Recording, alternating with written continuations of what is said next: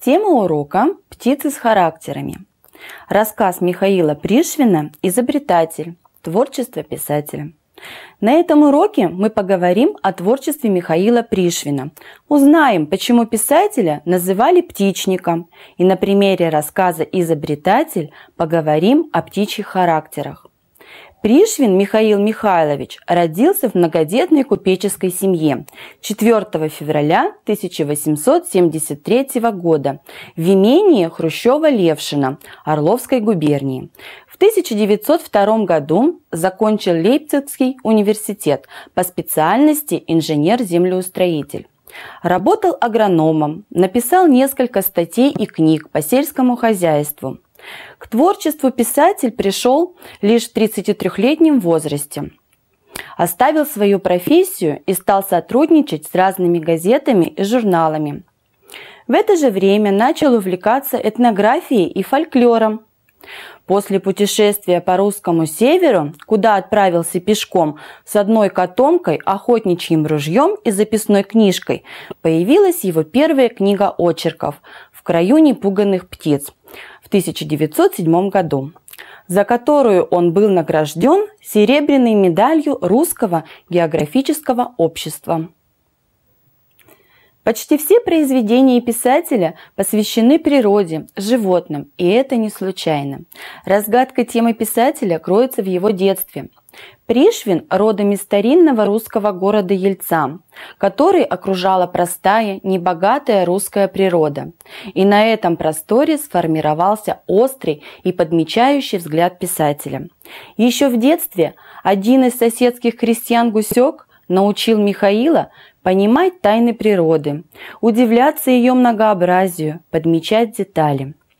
Писатель никогда не делил свое творчество на взрослое и детское, поэтому рассказы, написанные для детей, он включал и в книги для взрослых. Впервые, как детский писатель, опубликовался в 1906 году в журнале «Родник», а его первая книжка «Матрешка в картошке» вышла в свет лишь в 1925 году и включала в себя рассказы для детей – со временем получилось так, что Пришвин стал больше писать именно для детей. Он ценил в ребенке отзывчивость, неутраченное чувство удивления миром, его книги о том, что видел и переживал он сам. Все его описания и впечатлений от встреч с природой написаны необычайно красивым, красочным, понятным языком. Поэтому писатель Паустовский назвал Пришвина певцом русской природы. Пришвин ходил по белому свету, по берегам рек, по лесным тропам, повинуясь влечению быть среди природы, среди простого народа, наблюдать, подмечать и записывать поверья, приметы, сказки. Самыми известными детскими произведениями являются «Лисичкин хлеб», «Кладовая солнце» и повесть «Жень-шень». В своем рассказе изобретатель Пришвин также использует тему природы. Повествуя о ней, он пытается рассказать о человеке, о взаимоотношениях людей. А сюжет рассказа прост.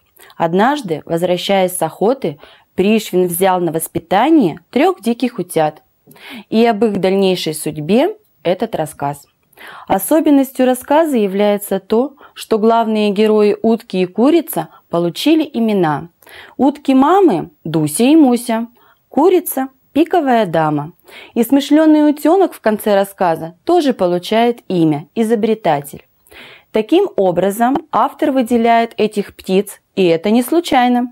На их примере он поведал о материнстве, о разном отношении мам к своим деткам, о разных характерах этих птиц. Показал, как утка Дуся и курица Пиковая дама заботятся о своем потомстве, учат его, защищают. По-другому к этому отнеслась утка Муся. Она не захотела высиживать яйца и заниматься своими детьми. За нее это сделала курица. «Пустая голова», — говорит автор про Мусю. Пришвин рассказывает реальную историю из жизни. В описаниях животных, в понимании их характеров прослеживается любовь к ним. После появления на свет деток утят, каждая мама по-своему начала воспитывать и обучать их. Дуся повела своих к пруду, а пиковая дама своих утят в огород за червями. Автор показывает, как птицы разговаривают между собой. Курочка на своем языке, непонятном для утят. Утка на своем. Кряк-кряк. Эта утка зовет утят. Свись-свись. Это отвечают утята. На их языке это означает «свои к своим». Не случайен этот разговор в рассказе. Этим приемом звукоподражания автор показывает, что птицы могут по разговору узнать родных, как люди, а также его использование помогает раскрыть психологическое состояние птиц, смятение утят, когда они слышат родные звуки из пруда и не понимают, почему их мама-курица разговаривает по-другому. Удивление курицы, которую не понимают, а потому и не слышат дети утята. Но зато они охотно откликаются на зов утки и бегут к своей утиной семье, которая их с радостью принимает. Пиковая дама сердится, беспокоится, не оставляет попыток обратить внимание утят на себя, но все безрезультатно. Они теперь единая утиная семья, Жизнь продолжается дальше. Еще одной птицей с интересным характером стал изобретательный утенок. Пришвин в рассказе называет его в шутку «воин ростом с небольшой огурец», показывая тем самым, что утенок очень мал. Но несмотря на возраст, он смог выбраться из большой корзинки, куда утку и ее утят сажали на ночь. Автор заинтересовался, каким образом утенку это удается. И, решив выяснить, как это происходит, проследил за птицами. Сначала Пришвин недоумевает, как малыш смог выбраться, а затем восхищается его способностями. Утенку удалось не только самостоятельно покинуть корзинку, но со временем обучить этому приему и всех остальных. Дети автора прозвали его изобретателем.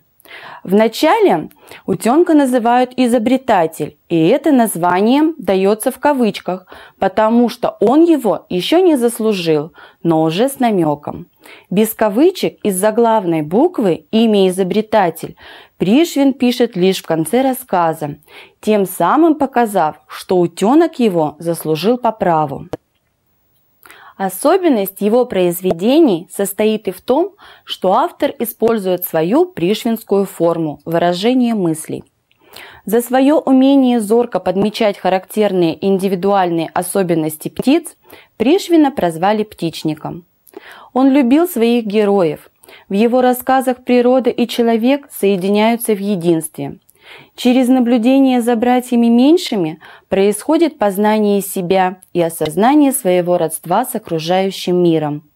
Итак, на этом уроке мы познакомились с творчеством замечательного писателя Михаила Пришвина, узнали, почему его называют птичником, и подробно изучили характеры птиц в его рассказе «Изобретатель».